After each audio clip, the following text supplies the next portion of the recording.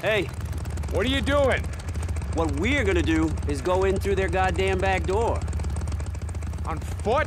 You never told me we were going on foot. Remember what happened the last time you took your noisy ass bike in there? Good point. Hey, they'll never even see us.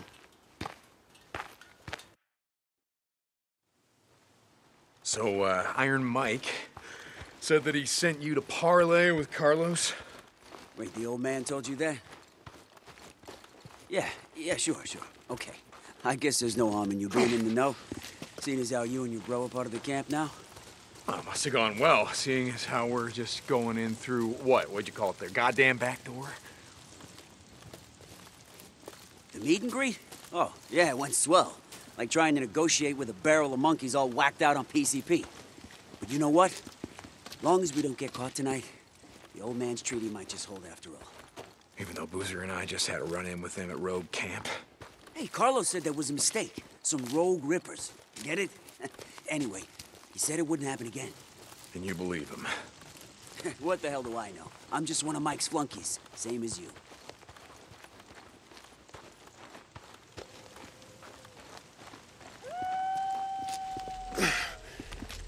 Shit! You hear that?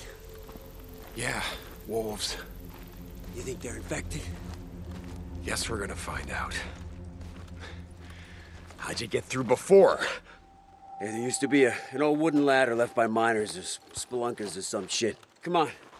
Over here. Boost me up. You ready? Yeah. Go.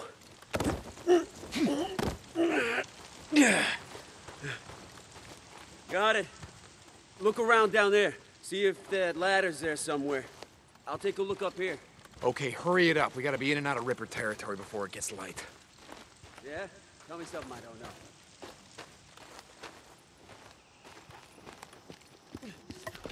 Wolves!